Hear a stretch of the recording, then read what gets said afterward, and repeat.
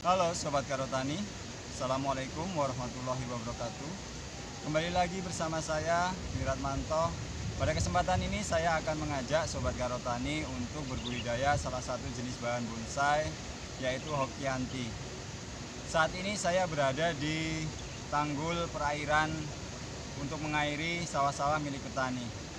Namun sebelumnya, bagi sobat yang baru bergabung atau baru melihat video ini dan yang belum subscribe, jangan ragu tekan tombol subscribe agar tidak ketinggalan konten-konten terbaru dari Karotani.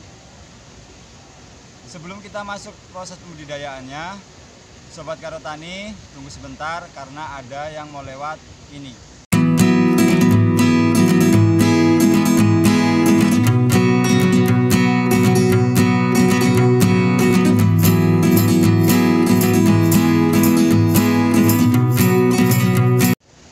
Sini saya sudah menyiapkan 4 buah polybag yang gunanya untuk menanam dari bahan Okianti ini. Untuk media tanamnya, media tanam ini saya menggunakan tanah biasa dan eh, sekam padi.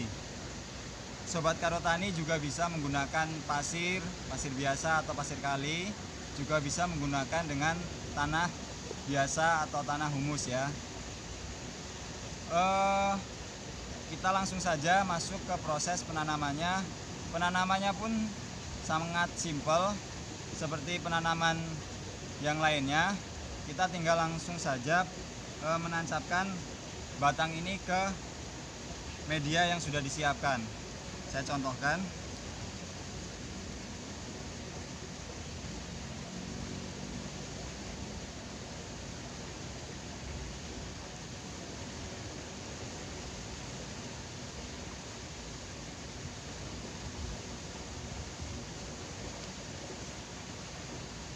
Di sini sisa satu karena saya membawa hanya 4 polybag dan sedangkan eh, potongan steknya ada 5 mungkin akan saya tanam lagi nanti di rumah.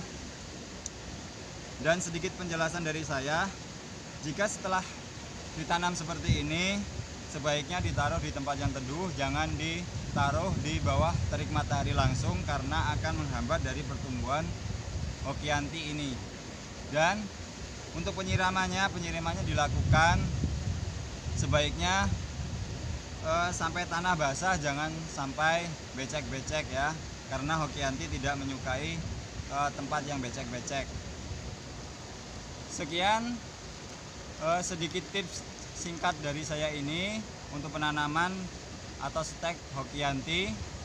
Eh, saya akan tunjukkan eh, hasil setekan saya yang sudah hidup beberapa bulan yang lalu videonya ini.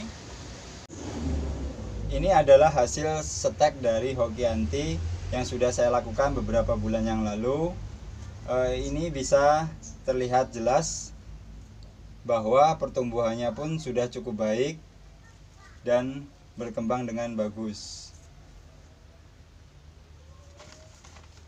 Akan saya lihatkan dari dekat ini hasil setekan. Jadi tidak ada rekayasa eh, dalam proses penanaman bahan bonsai dari Hokianti. Sekian video atau budidaya dari jenis bahan bonsai Hokianti. Semoga bermanfaat. Eh, terima kasih bagi teman-teman yang sudah menonton sampai akhir dan saya juga ucapkan terima kasih bagi yang sudah subscribe di channel saya. Sampai ketemu di video-video saya selanjutnya. Saya akhiri. Wassalamualaikum warahmatullahi wabarakatuh.